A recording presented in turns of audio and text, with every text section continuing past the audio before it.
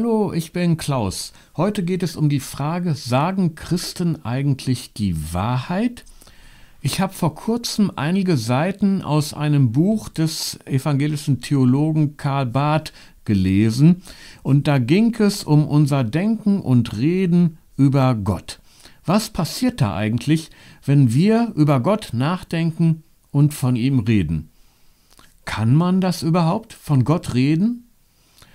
Und ich dachte mir, das sind gute Gedanken zur Frage, ob Christinnen und Christen eigentlich die Wahrheit sagen. Aus dem, was ich gelesen habe, ergibt sich nämlich eine wirklich überraschende Antwort. Ich fange mal so an. Jeder christliche Mensch ist ein Theologe. Er ist es, weil er sich Gedanken über Gott macht. Das Wort Theologe ist nämlich zusammengesetzt aus den griechischen Wörtern Theos und Logos, also Gott und Wort oder Überlegung oder Vernunft. Man kann sogar noch weitergehen. Nicht nur jeder christliche Mensch, sondern überhaupt jeder Mensch ist ein Theologe in seiner Weise. Denn jeder Mensch hat einen Gott oder mehrere Götter, die sein Denken über die Welt und auch sein Handeln in der Welt prägen. Alles, was es in der Welt gibt, kann zu solch einem Gott werden. Die Natur zum Beispiel, die Vernunft, der Fortschritt, eine Religion oder eine ganz unreligiöse Ideologie, ein bewunderter Mensch oder eine Gruppe von Menschen und vieles, vieles mehr. Alles kann uns zum Gott werden. In ähnlicher Weise hat es der Theologe Karl Barth in seiner letzten Vorlesungsreihe ausgedrückt, die er im Wintersemester 1961-62 in Basel hielt. Ist also schon ein paar Jahre her. Aber Karl Barth ist ein sehr berühmter Theologe und darum ist, sind seine Äußerungen, Vorlesungen und seine Schriften auch heute noch alle im Handel erhältlich. Die Vorlesung, die er damals als Abschiedsvorlesung in Basel hielt, trug den Namen Einführung in die evangelische Theologie. Sie richtete sich aber nicht nur an Theologiestudenten, sondern an jeden Christen und jede Christin sowie auch an jedem, an jeden an, an der Theologie interessierten Menschen. Denn wie gesagt, jeder Mensch hat etwas, das er für unentbehrlich hält für sein Leben, woran er hängt, eine Weltanschauung, der er anhängt, ohne die er nicht leben kann und leben will. Und jeder Mensch verehrt in dieser Weise etwas, das ihm göttliche Bedeutung hat.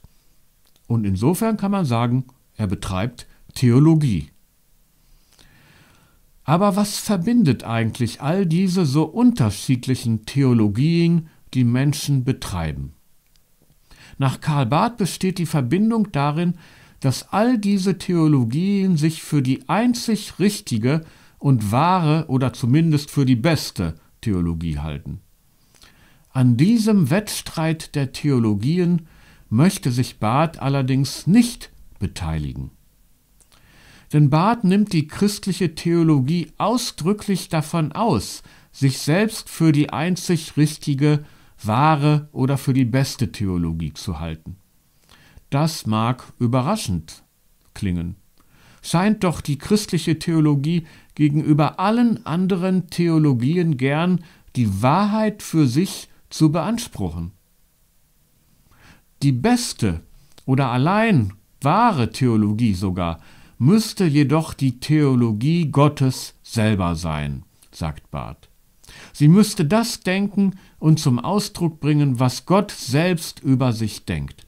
Sie müsste das aussprechen, was Gott selber ausspricht. Diese Formulierungen verraten schon die Absurdität dieses Gedankens. Denn kein Mensch kann doch das denken und aussprechen, was Gott selber denkt und ausspricht. Wir können immer nur das denken und aussprechen, was wir selbst erlebt, gehört und aus dem Erlebten und Gehörten kombiniert haben. Und wir können das alles nur mit den unvollkommenen Wörtern unserer ganz menschlichen Sprache denken und aussprechen. Wer über Gott nachdenkt und spricht, muss sich auf das beziehen, was andere ihm über Gott gesagt haben und was er in der Bibel über ihn gelesen hat. Aber all das, auch die Bibel, ist nicht das unmittelbare Wort Gottes. Wir vernehmen Gottes Sprechen nicht unmittelbar, sondern wir vernehmen es immer nur vermittelt über das Sprechen von Menschen. Auch die Verfasser der biblischen Schriften waren Menschen. Was sie aufschrieben, war nicht unmittelbar von Gott selbst gesprochen. An diesem Punkt nun mögen sich die Geister scheiden. Denn fundamentalistisch orientierte Christinnen und Christen halten die Bibel für das unmittelbare Wort Gottes, das den Verfassern der biblischen Schriften wortwörtlich von Gott eingegeben wurde.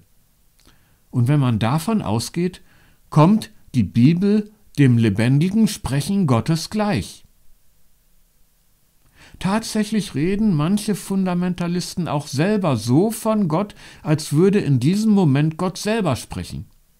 Ich habe Christen kennengelernt, die so genau über Gott Bescheid wussten, wie es eigentlich nur Gott selber kann.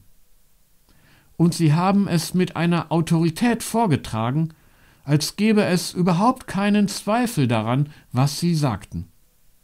So haben sie sich im Grunde jeder Diskussion entzogen. Sie sprachen so, als wäre ihr Wort identisch mit dem lebendigen Wort Gottes. Karl Barth meinte, dass jede Theologie, die sich so ausdrückt, als wäre sie die allein wahre Theologie Gottes selbst, sich schon dadurch als eine Theologie verraten hat, die eben das nicht ist. Keine Theologie darf sich als Weisheit oder Lehre ausgeben, die mit der Wahrheit Gottes identisch ist.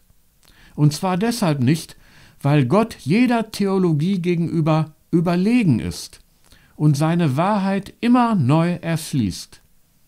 Diese Wahrheit muss daher immer aufs neue entdeckt werden. Es gibt deshalb in der Theologie, also im Nachdenken aller Christinnen und Christen über Gott, keinen Stillstand. Nur dort, wo Gott sich selbst immer wieder neu zu erkennen gibt und wo Menschen sich darauf einlassen, dort können Erkenntnisse über Gott wachsen.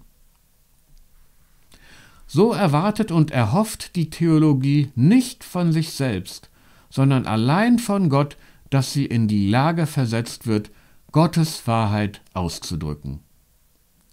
Christliche Theologie, und das heißt ja jetzt bei Barth immer christliches Nachdenken über Gott, alle Christinnen und Christen sind gemeint. Christliche Theologie gibt nur Gott und Jesus Christus, nicht aber sich selbst die Ehre. Insofern ist christliche Theologie nach Barth eine bescheidene Wissenschaft. Ihre Bescheidenheit zeigt sich auch darin, dass sie nie an ein Ende kommt.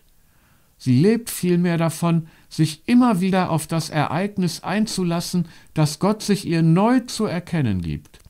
Sie macht daher keinen Halt bei dem, was frühere Menschen einmal von Gott erkannt haben.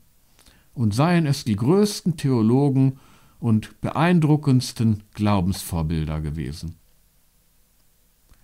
Insofern ist christliche Theologie nach Barth eine eminent kritische Wissenschaft. Eine Wissenschaft, bei der es in der Natur ihrer Sache liegt, dass sie von Gott selbst einer dauernden Krise ausgesetzt wird.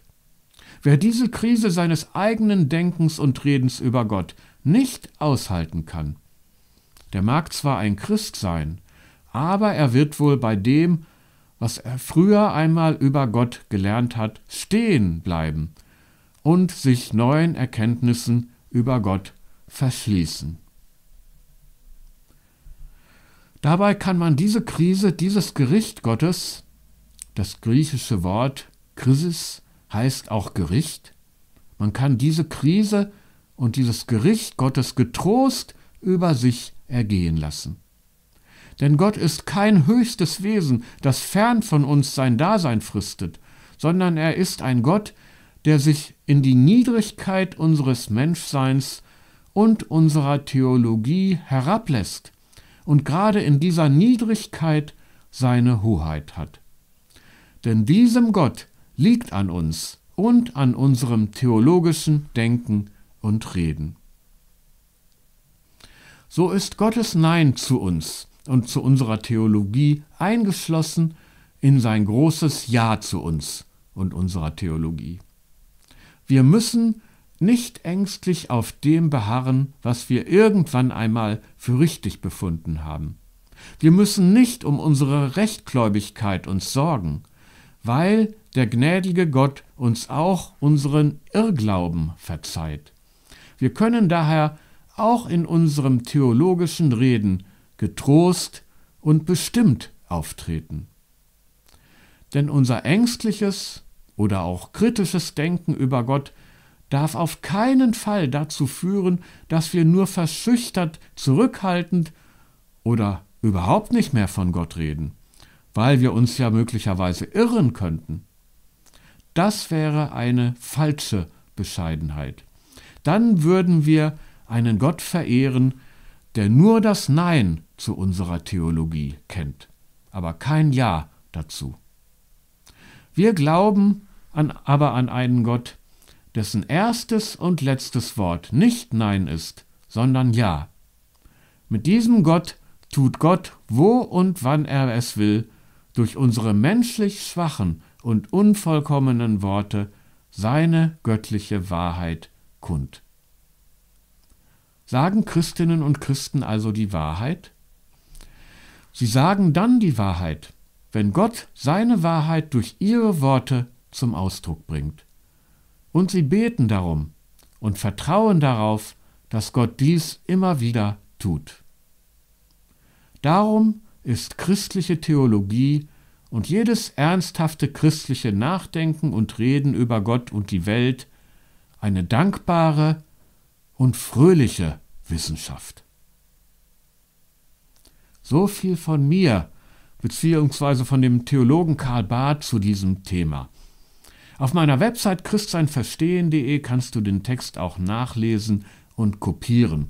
Dort wird über meine Texte auch munter diskutiert. Wenn du magst, schau also mal auf meiner Website vorbei oder abonniere meinen Kanal hier auf YouTube, dann kannst du kein neues Video verpassen. Du musst dazu nur unten links auf den Button klicken. Schalte dich also gern wieder ein. Bis dahin wünsche ich dir viele gute Gedanken über Gott und dass du dazu gesegnet sein mögest, zu diesen guten Gedanken gesegnet sein mögest mit Gottes hilfreichem Geist.